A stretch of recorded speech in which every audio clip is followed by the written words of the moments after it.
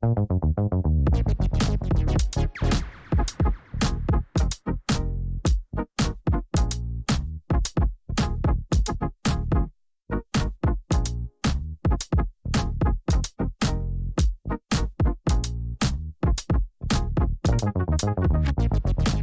buenas tardes, ¿cómo están? Bueno, bienvenidos a un nuevo encuentro de, esto, de nuestro webinar hoy lunes 19 horas. Tenemos nuevamente, hoy este, este año estamos a full, Sergio, ¿eh? Con, tu, con tus charlas, eh, llamamos, te llamamos siempre porque realmente son buenísimas, aprendemos un, un montón. Y hoy con un tema muy interesante, bueno, si es paciente adulto y, o adulto mayor que empieza con síntomas respiratorios, desde chico no lo tenía, y uno siempre empieza a hacer asma, será EPOC, y viene esa cuestión, me pareció muy interesante el tema, y por eso te convocamos, por favor, hagan las preguntas que quieran o comentarios, aquí abajo va a aparecer en el zócalo el mail donde ustedes pueden mandar algún comentario y así luego recibir las preguntas choice, así obtener el, el certificado de licencia Así que bueno, sin más, gracias Sergio, vos sos médico clínico, vos sos médico neumonólogo, si tenés alguna otra especialidad avísame porque cada uno va teniendo especialidades extras y a veces no me voy enterando. Así que bueno, muchísimas gracias por estar nuevamente con nosotros.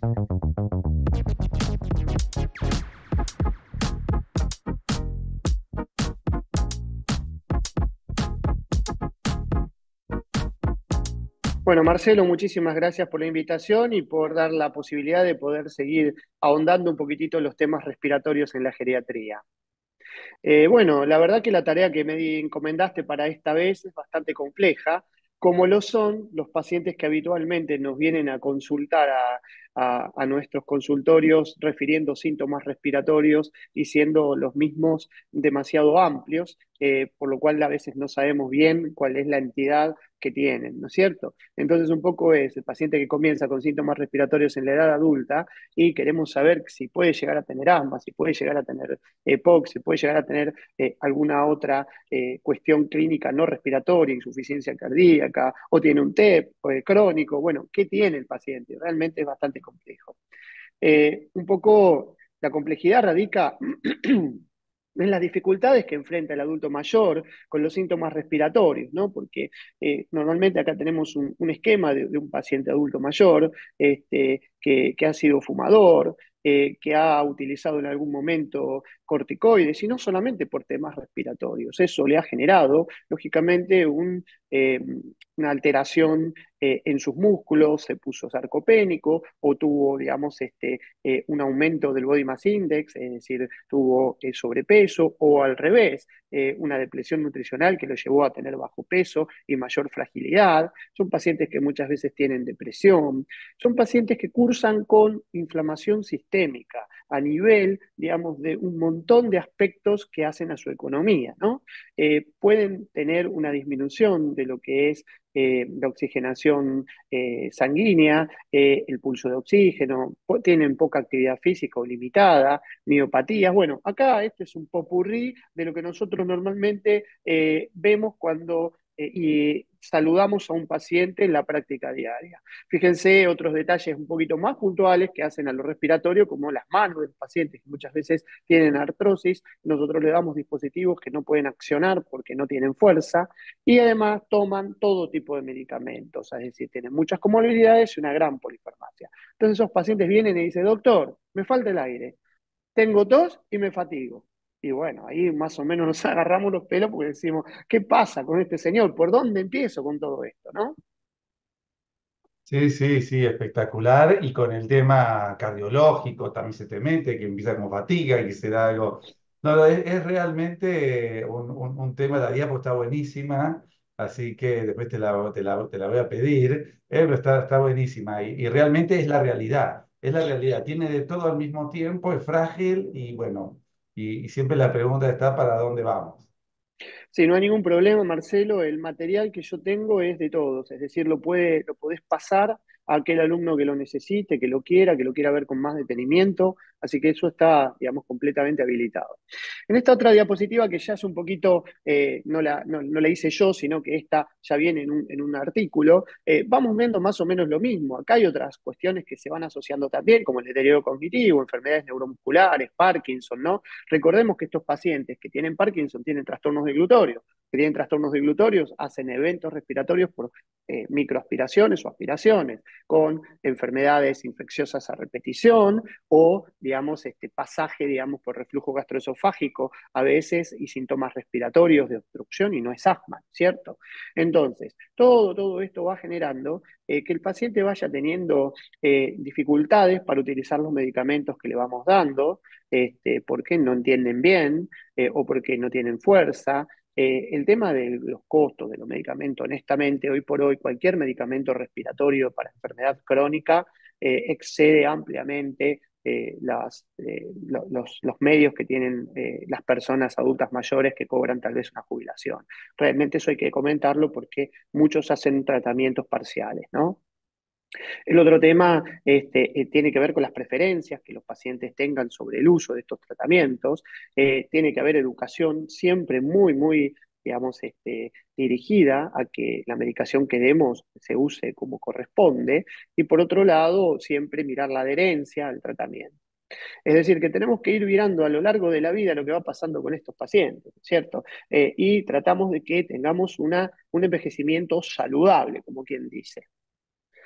Así que bueno, también hay otros mitos que se tienen, mitos que tenemos los médicos y mitos que tiene la gente, que tiene que ver con que, por ejemplo, el asma es una enfermedad rara en el adulto mayor, que es distinta al joven, que no pueden los pacientes adultos mayores hacer una prueba funcional respiratoria como espirometría, o que el diagnóstico eh, cuando hacemos una espirometría, sí o sí tiene que estar la reversibilidad después de la prueba broncodilatadora, es decir, que el paciente tiene que soplar más después de haber recibido un SABA, un salbutamol, eh, y muchas veces eso no es así, ¿no es cierto?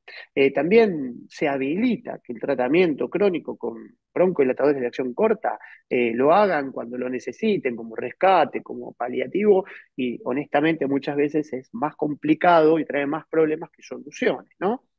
El otro tema es la permisividad que se tiene con el uso de los corticoides sistémicos y los efectos sistémicos y deleterios que se genera por esto. Y no solamente por las cuestiones respiratorias, sino por los que reciben desde todas las especialidades que pueden, digamos, indicar un corticoide por algún tema. Eh, lógicamente, también hay una idea de que los corticoides inhalatorios, por un lado permitimos lo sistémico, pero por el otro lado limitamos los inhalatorios porque decimos que dan osteoporosis, o el paciente piensa eso o el médico piensa eso, cosa que hace que el combo sea bastante difícil. Por eso, se maneja al paciente trasladando la evidencia del joven porque se dice que no hay mucho publicado. Y honestamente, no es muy así. Por otro lado, Sí. Sergio, una palabrita nomás. Esto quiero recalcarlo. Yo tuve un paciente esta semana, el señor tiene que utilizar la, la, medicación crónicamente y cuando pasan varias veces que está bien, después lo larga. ¿eh? Después lo larga solo y después tiene la, la, la reexacerbación, la exacerbación y toma corticoides por vía oral. ¿Entendés? Entonces, porque en el momento. Entonces, ¿cómo trabajar mucho con los pacientes de la cuestión que esto es un tratamiento crónico por más que se sientan bien? ¿Eh? porque si no viene esa, larga y después vuelve a tener y tiene una o dos veces al año exacerbaciones y tiene que tomar corticoides por vía oral. Mira, lo que estás diciendo da lugar a comentarte que es algo que, que todos vemos y que dice, bueno, puede llegar a ser una subjetividad de nosotros. Pero hay una revista que está dentro de nuestra biblioteca electrónica, que es el Journal eh, of Clinical Behavior. Es una revista que tal vez no, muchos hayan visto y dentro de ello yo he encontrado algunos artículos que hablan fundamentalmente de adherencia a los tratamientos, pero no solamente en enfermedades respiratorias, sino en general, ¿no es cierto? Ahora, ¿qué ocurre? El asma tiene una característica distintiva y es que muchas veces la gente, como decís vos, está bien, no tiene sintomatología que sea exteriorizable. Yo siempre digo que la inflamación está siempre, que muchas veces no se demuestra, pero que está. Ahora, esa gente es la candidata por todo lo que estuvimos hablando de la dificultad de acceso, de los costos y demás, a pausar el tratamiento, a prolongar las dosis y a bajar la adherencia, lo que hace que después con cualquier estímulo del medio ambiente que sea lo suficientemente intenso, va a precipitar una nueva crisis, ataque o exacerbación en el caso del asma. Esto no ocurre con el EPOC en general. El paciente EPOC tiene mayor adherencia. Sí puede llegar a tener también, al igual que el asmático, fallas en el uso de los dispositivos, fallas que pueden ser leves o que pueden ser críticas. Pero en general el EPOC, como es un paciente que tiene sintomatología habitualmente en una forma constante, no te suspende tratamiento porque se sienta bien. Entonces, lo que vos decís está comprobado científicamente, tiene que ver con el comportamiento humano eh, y tiene que ver con eh, justamente una respuesta a la sensación de bienestar que puede eh, tenerse si una persona recibe un tratamiento adecuado. ¿sí? Así que es muy buena la, observación que hiciste. Bien, con respecto, digamos, a las modificaciones de la función pulmonar en la gente mayor, este, que tienen asma o también EPOC, eh, la vía aérea suele estar inflamada. Con tantos eventos en la vida de inflamación se va remodelando, es decir, que se va haciendo como un, este, em, molde fibrótico que hace que después no sea reversible con los broncodilatadores eh, la obstrucción. Y eso no quita que el paciente no sea asmático. Yo puedo no tener reversibilidad, pero si tengo características clínicas y tengo antecedentes, puedo igualmente hacer el diagnóstico. Eh, estas pacientes tienen disminución de la fuerza elástica pulmonar, todo lo que va produciendo es la causa, como vemos ahí, la inflamación, la consecuencia, que es la reversibilidad, y la consecuencia ulterior, eh, si esto no se trata, que es justamente un bronquio prácticamente cerrado. Así que eh, los, e, los, eventos relacionados con el envejecimiento tienen que ver con que la vía aérea se cierra rápido, que los pacientes suelen tener más atrapamiento aéreo por esta causa, y esto cambia la mecánica respiratoria y hace que sea más difícil y más caro el costo de respirar para las personas. Y todo esto entraña una mayor gravedad. Bueno, el tema es, para pasar rápidamente, sabemos que hay 300 millones de asmáticos en el mundo y que tenemos un 10% en, de prevalencia del asma en la Argentina, es decir, que tenemos aproximadamente 4 millones de pacientes con asma y que ha venido, eh, digamos, eh, empeorando eh, lo que es la mortalidad en los últimos años a predominio de las mujeres, como vemos acá, 3 a 1, con respecto a los varones. El asma es inflamación y esto lo vamos siempre a poner, digamos, eh, como premisa. Si nosotros utilizamos eh, un tratamiento, tiene que ser antiinflamatorio ante todo. Es decir, no está mal que se use un broncodilatador como el SABA, salbutamol, como rescate, como alivio. ¿Está? Perfecto. No está mal no está mal que se usen eh, de acción larga, no solos, nunca solos, porque no están indicados, sino que con los corticoides inhalatorios, que serían el tratamiento de elección, la piedra angular de tratamiento para esta enfermedad. Con respecto a EPOC, la carga es otra de las enfermedades súper prevalentes. Fíjate que ya es la tercera causa de muerte a nivel mundial. No me acuerdo cuando estaba en la facultad, era como la sexta, no sé si te acordás vos. Ahora estamos en la tercera.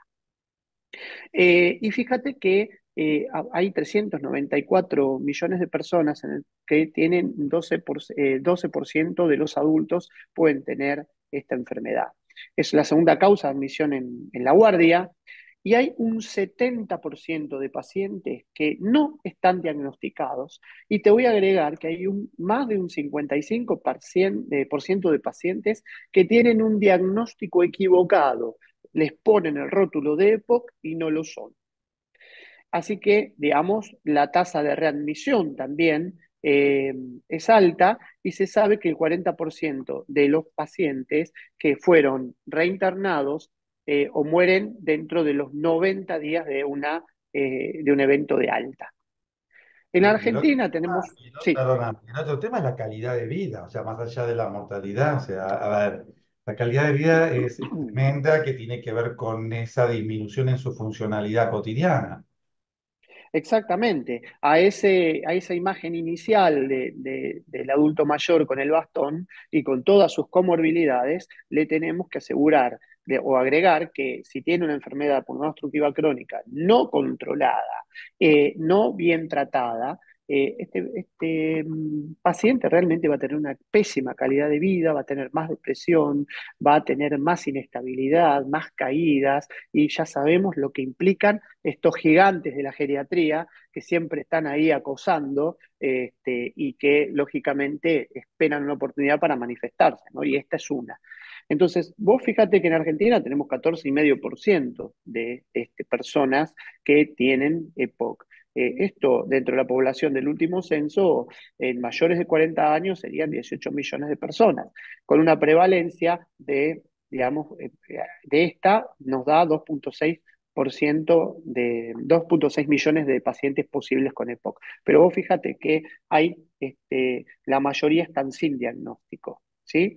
Esto, fíjate la cantidad de internaciones que produce por año y las muertes, casi más de 6.600 muertes por año. Vemos que es una enfermedad realmente súper frecuente, prevalente, eh, con que produce un deterioro significativo en la vida de la gente, en la calidad de vida, el entorno, este, y los desacondiciona y los mata muchísimo. Así que eh, es algo que no podemos dejar de pasar.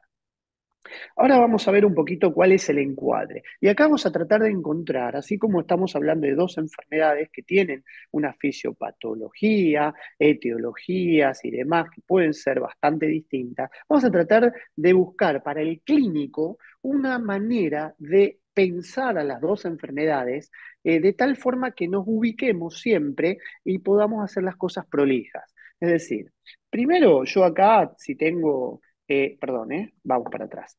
Eh, primero, yo acá tengo el asma arriba y siempre me tengo que preguntar, tanto para asma como para EPOC, que está abajo, es realmente si el paciente tiene asma o tiene EPOC, o es otra cosa. Entonces, para esto vamos a valernos de los rasgos clínicos que presenten los pacientes.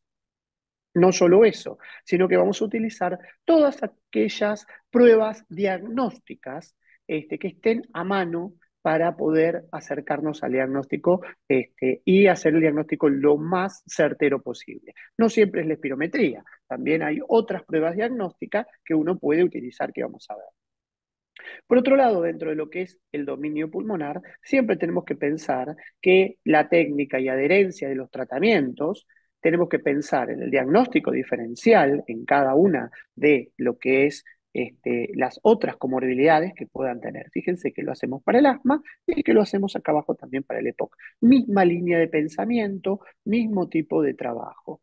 Para el dominio extrapulmonar, lógicamente, vamos a ver cuáles son las características clínicas, los biomarcadores, los métodos complementarios. Todo esto es muy importante. Y también es importante lo que pasa a nivel de la conducta de los pacientes. ¿sí? Es decir, vamos a ver ¿Qué pasa con lo que es eh, la enfermedad en sí respiratoria? Fuera de la enfermedad respiratoria, todo lo que es extrapulmonar o las comorbilidades sistémicas. Después, si podemos hacer alguna caracterización del fenotipo del paciente que tengamos, es decir, sabemos que hay muchos pacientes que no son puros. Es muy raro que yo vea un asmático puro, un señor adulto mayor que solo tiene asma.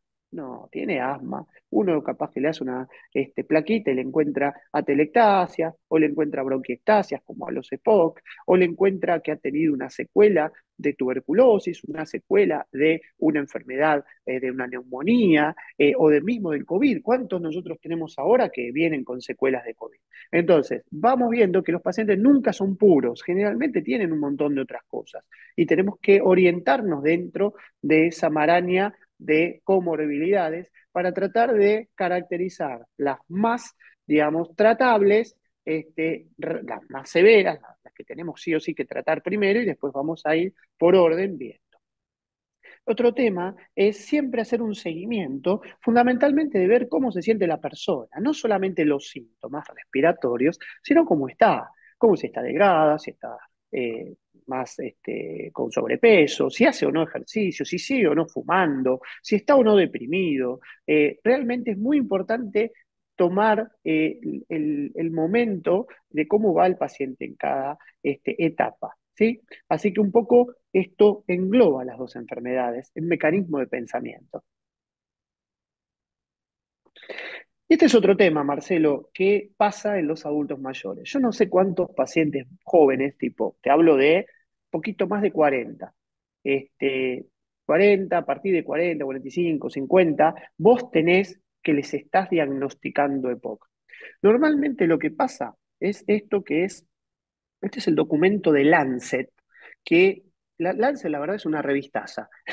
y este, este mm, eh, artículo que salió en el 2022 es excelente y se los recomiendo. El que se lee esto es como si se leyera una guía de POC súper actualizada. Así que ese paréntesis que abro es para recomendarles este artículo. Lo que se ve normalmente es que con los años, eh, en esta enfermedad, la función pulmonar va bajando. Y hay un resto normalmente que todos tenemos este, funcional de pulmón que hace que no tengamos sintomatología. La sintomatología empieza a ser insidiosa y empieza a ir aumentando con los años. Normalmente nosotros estamos llegando al diagnóstico de POC cuando ya los síntomas son importantes, pero fíjate vos toda la función pulmonar que cayó cuando estamos en la ventana de diagnóstico.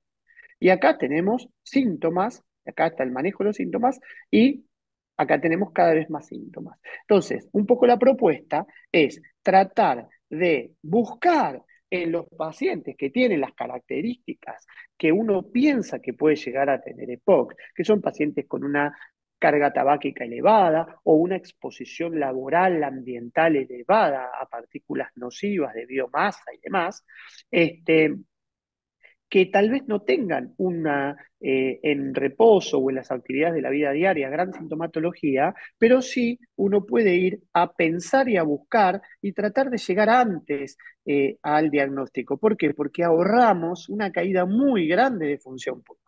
¿sí? Ah, tenemos que interceptar mucho antes esto para que no lleguemos cuando ya solo lo que hacemos es tratar de ver cómo mejoramos las cosas, pero no estamos haciendo una gran prevención de toda esta función pulmonar que por otro lado cae. Es decir, que hay un gran subdiagnóstico por falta de conocimiento, por subestimación del impacto, eh, por falta de acceso a las pruebas diagnósticas, y no muchas veces son falta de acceso, sino falta de que no las pedimos o no las pensamos pedir, o no pensamos que el paciente pudiese tener esto porque es muy joven y no lo ve bien, y porque en la edad, en la etapa temprana de la enfermedad, no hay tanta sintomatología. La sintomatología hay que ir como a pescarla, a buscarla eh, bien en, en planos más discretos. Para eso, obviamente, necesitamos hablar más con la gente, tener más diálogo con los pacientes e ir más al fondo de los problemas. Es esta diapo en la, en la figura inferior. La pregunta es si, si una espirometría pedida ahí, ahí rondando los 40, eh, ponerle entre 40 y 50, te va a agregar algo más a tu sospecha diagnóstica que es muy incipiente desde el punto de vista de los síntomas. ¿Eh? Entonces, esa es la pregunta eh, al margen de lo que hacemos siempre. Si está fumando, eh, siempre en cada consulta intentamos eh, estimularlo para que deje de fumar, bueno, y todas estas cuestiones. La pregunta del millón es esa, si, si, eventualmente una espirometría u otro estudio, eventualmente a pedir, es, es necesario en esta etapa.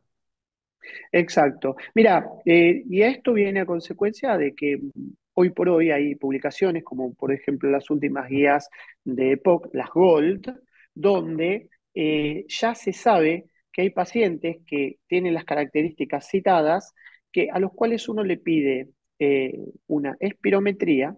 La espirometría tiene una relación FB1, este, capacidad vital forzada normal, pero, pero, pero, individualmente obtiene un poquito menos de BEF o un poquito menos de capacidad vital forzada.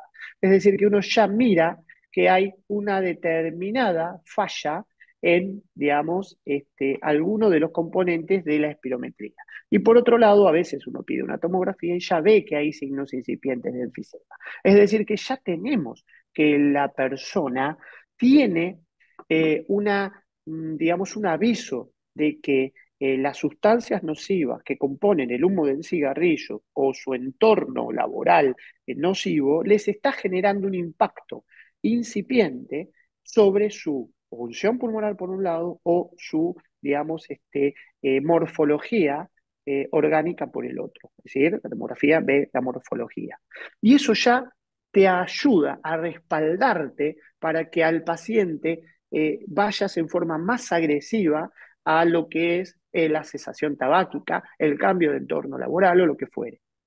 Es decir, a eso hoy se lo llama PRISM o también pre-EPOC. Son otras dos cosas que, como no es una charla específicamente de EPOC, preferiría eh, no entrar en detalle ahora, sino que se los dejo como comentario para que lo busquen y se fijen. Porque realmente lo que vos dijiste es para escarbar y vas a encontrar evidencia que apoya lo que vos decís, que hay que ir en esta gente joven, buscarlo y tratar de darle una digamos, tratamiento. Y el tratamiento no siempre es un fármaco.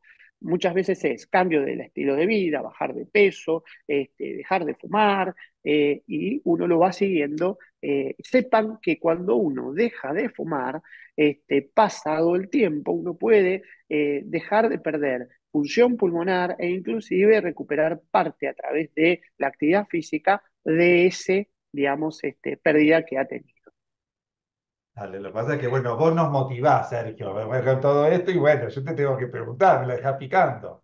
¿eh? Sí, está muy bien.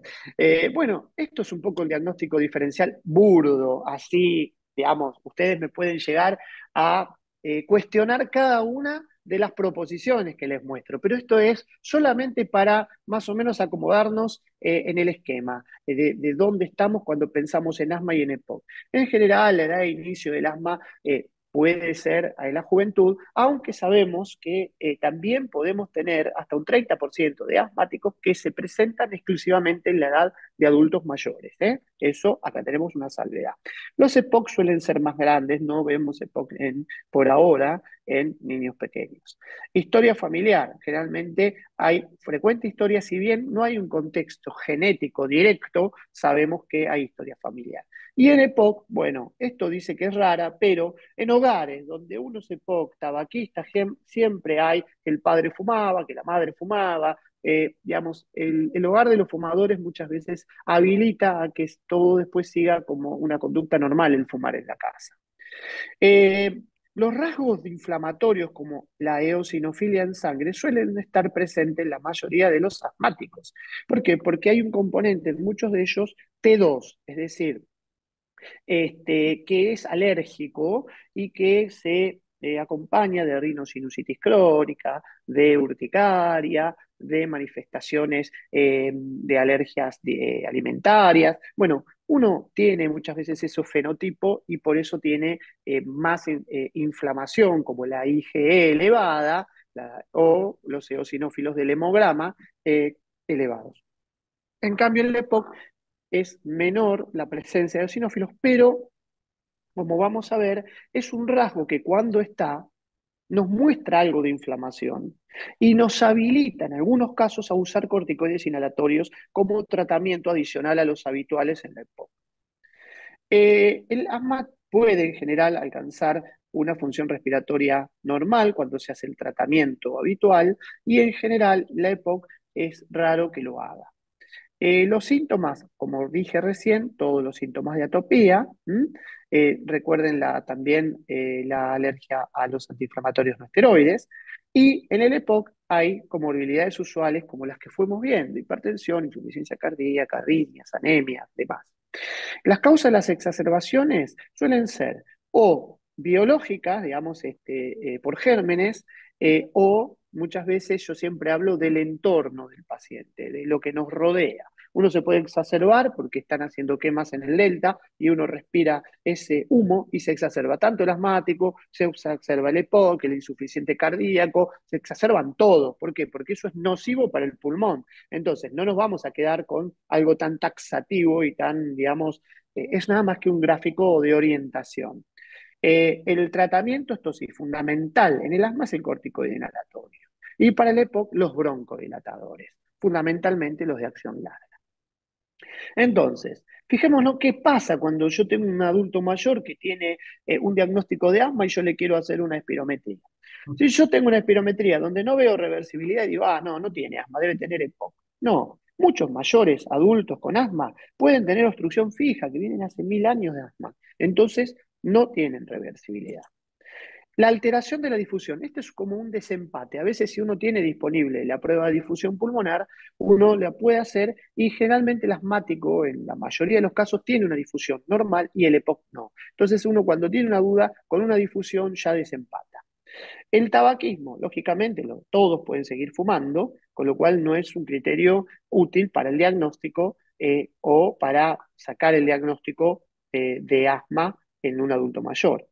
El tema de la alergia, dicen que la inmunosenescencia propone que los adultos mayores eh, no tengan alergia. Yo les voy a preguntar a ustedes, ¿cuántos adultos mayores ustedes reciben en los consultorios con rinitis y rinosinusitis? Y después me cuentan, ¿cuántos adultos mayores vienen con alergias cutáneas? Y después me cuentan. Entonces, el tema de la alergia, nosotros en un trabajo que hicimos en el hospital, vimos que 15% de la población estudiada tenía IgE elevada, es decir, tenía un marcador de, relacionado con alergia elevado. ¿sí? Así que un poco es esto. Por eso el subdiagnóstico o falso diagnóstico está a la orden del día. Por eso falta, digamos, muchas veces el adulto mayor tiene una falta de percepción de los síntomas y normaliza la sensación de la disnea. Dice, ah, bueno, estoy como siempre. Y un poco el aire siempre me falta cuando salgo a comprar a la panadería. Y no debería, uno no debería por qué tener fatiga, este, salvo que esté muy gordo, desacondicionado, pero hablo de lo respiratorio, ¿no? Y también hay una gran confusión con otras enfermedades, eh, con insuficiencia cardíaca, con eh, reflujo, con EPOC, eh, en estos adultos mayores con asma. ¿Por qué? Porque, bueno, muchas veces hay mucho overlap, digamos, que, hace que las tengan, no es que uno se confunda porque las piensa, no, porque las tienen también.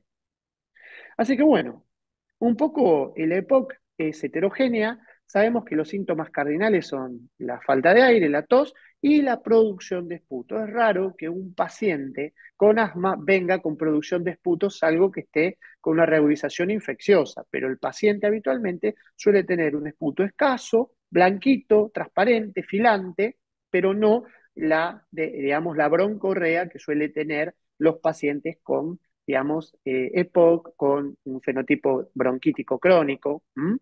Bien, la exposición medioambiental y los factores del huésped son fundamentales y fijémonos este gráfico donde tenemos todos los factores que intervienen en eh, los tipos distintos de fenotipos de POC. No es lo mismo la persona que tiene infecciones a repetición porque tiene bronquiectasias, no es lo mismo el fumador o que está expuesto a medio ambiente nocivo o el que está, eh, digamos, expuesto a eventos en la vida temprana. Muchos pacientes eh, con los eventos de la vida temprana van desarrollando alteraciones pulmonares, ¿no? Así que acabamos viendo todas las cosas que intervienen en eh, la EPOC. Y con respecto otra vez a las dos enfermedades, tratando de ser unicistas en el pensamiento, siempre vamos a ver los síntomas. Vamos a ver si tiene síntomas diurnos, si además tiene síntomas nocturnos, si la sintomatología limita las actividades de la vida diaria en ejercicio, e inclusive en reposo. Si hay en reposo, entonces estamos más embromados porque significa que ya tiene una enfermedad bastante eh, importante que ya les da sintomatología en reposo.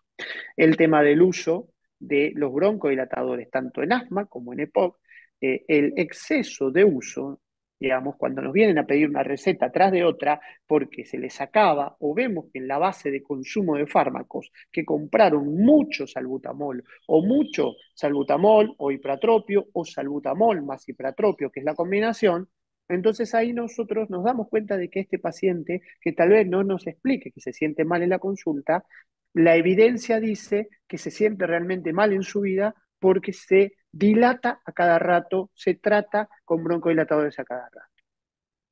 Y después veamos el riesgo de exacerbaciones, ¿no? Paciente que no usa, usa mal o usa equivocadamente los medicamentos, pacientes que tienen internaciones frecuentes, que tienen síntomas eh, extrapulmonares como rinosinusitis, que es re frecuente, que siguen fumando, que no se miden habitualmente o que tienen eosinofilia como el asma. Entonces, hay varias cosas que nosotros podemos tener que nos pueden presentar un riesgo a futuro de exacerbaciones. Bien, Entonces, con respecto a lo que es el, mira, Marcelo, esto es un gráfico eh, que lo saqué de una eh, de un librito chiquito que acabamos de terminar con la gente de la MR este, sobre EPOC. Es una actualización de 10 capítulos. Cada capítulo son 3, 4 hojitas. Eh, y te lo voy a pasar después para que si hay algún interesado en leerlo, lo tenga online, que te lo solicite y se lo podés eh, pasar, a tu secretaria se lo podría pasar al que lo pida. Es un, librito hecho por gente muy idónea en el tema. ¿sí? Entonces, un poco la evaluación del, paciente con EPOC tiene que ver con un diagnóstico confirmado por espirometría, donde se evalúa la obstrucción al flujo aéreo y mm, los síntomas y riesgo de exacerbaciones, como vimos recién.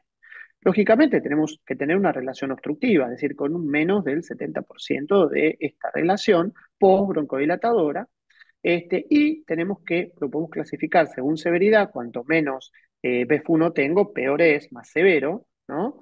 Eh, y esto es importante porque fíjate que esto cambió, eh, que tiene que ver con un gráfico de doble entrada, donde abajo tengo los síntomas. Los síntomas yo los mido por esta escala de Disnea, o por esta escala de síntomas, donde me dice si tiene disnea, si tiene expectoración, si tiene este, síntomas eh, nocturnos, bueno, eh, son escalas de severidad. Cuanto más severidad, el paciente peor, ¿no es cierto? Y esta parte de acá, de lo que son las ordenadas, tenemos en el grupo de abajo pacientes que no tienen exacerbaciones o que tienen una exacerbación que no los llevó a la hospitalización y pacientes que tienen más de dos exacerbaciones durante el último año o que tuvieron una que los llevó a internarse. Entonces, los de arriba son el grupo de exacerbadores que tienen más sintomatología, que tienen más disnea, que tienen más exacerbaciones. Y estos se tratan con combinación de dos broncodilatadores de acción larga, adrenérgicos y colinérgicos. ¿Está bien? Ahora, acá juegan los eosinófilos. Si el paciente que es muy reudizador, yo me fijo en el hemograma, tiene más de 300 eosinófilos, eh, o es un paciente que es una superposición con asma, entonces yo estoy habilitado a agregarle una triple terapia, es decir, agregarle un corticoide inhalatorio. En cambio, aquellos pacientes que tienen casi nunca exacerbaciones, este, y que tienen poca sintomatología, tal vez con un broncodilatador de acción larga puedan andar bien, o aquellos que tienen más sintomatología pero que tampoco se exacerban, pueda estar con una terapia que se llama broncodilatación dual, que es lo mismo que acá sin el corticoide. Un poco este es el resumen de la evidencia actual de cómo se trata o se encara el tratamiento en un EPOC. ¿Sí? Entonces, acá lógicamente eh, se puede lo traje porque en este otro gráfico eh, están las cuestiones no farmacológicas que yo siempre trato de, fomentar. El tema del abandono de tabaco, de la medicación de rescate, el tema de la comorbilidad, vacunación fundamental. tenemos que tener siempre, eso ya lo he visto en los otros webinars que hablaron de vacunación, el problema vacuna siempre tiene que ser un tema aparte. Tenemos que ver si está vacunado nuestro CEPOC con antigripal anual, con la antineumocóxica completa, tanto la polisacárida como la conjugada. Hoy por hoy, el COVID, que nadie se está vacunando, tenemos que tener, aunque sea una por año. Están diciendo que son cada seis meses, pero bueno, si yo tengo un paciente de esta característica y no se quiere vacunar cada seis meses, por lo menos que se vacune una vez por año. Otra cosa que tengo que tener es la este, triple acelular bacteriana, que esa tiene difteria, pertusis y tétanos. Muchos de estos pacientes la antitetánica la tienen revencida, con lo cual le das esa y cubrís todo. Y otra cosa que también viene al, ruedo es que se ha visto una circulación anual completa de virus incisional respiratorio. Y en adultos mayores realmente es una, digamos, catástrofe lo que producen. Entonces, en cuanto tenga disponibilidad la de virus incisional respiratorio, hay que vacunarse también. Todavía no se sabe si va a ser cada dos años esa están todavía los trabajos pendientes. Y después, si tienen un individuo joven, como el que hablábamos con Marcelo, este, que tiene un EPOC, pídanle un, alfa-1 antitripsina. Eh, muchos pacientes tienen el déficit de alfa-1 antitripsina y tienen enfisema en edades tempranas. De acuerdo al genotipo y fenotipo que tenga, se puede dar tratamiento suplementario y podemos cambiarle una historia que va a terminar muy mal a un paciente con déficit. Y esos pacientes, lamentablemente, siempre se hallan tarde y a destiempo, cuando perdieron mucho, mucho eh, parénquima pulmonar. Y siempre piensen que una herramienta fundamental en los pacientes adultos mayores es la rehabilitación. Ustedes lo saben por la neuromuscular, les va muy bien, pero la respiratoria, que aparte neuromuscular también, les va, pero muchísimo bien, muy bien.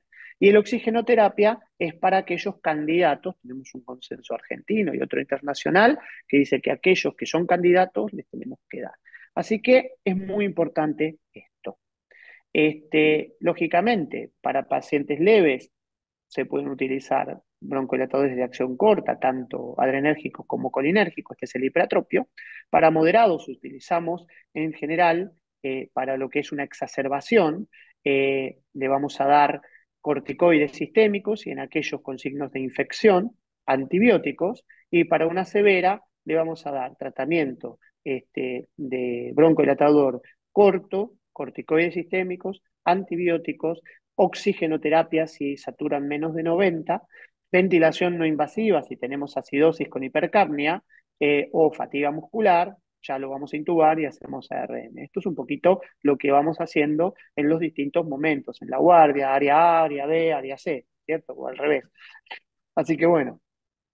Y esto es importante porque hoy por hoy mi miedo, o por lo menos mi, eh, mi preocupación, es que desde el punto de vista del clínico, eh, vayamos todo a triple terapia. Le pongamos triple terapia al asma, triple terapia al EPOC, armamos un combo y ya está. Es para todo lo mismo. Y no es así. Eh, se recomienda la triple terapia en el EPOC si hay historia de hospitalizaciones o exacerbaciones más de dos por año, si tiene más de 300 eosinófilos en el conteo y una historia de asma o sospecha de este, una superposición asma-EPOC.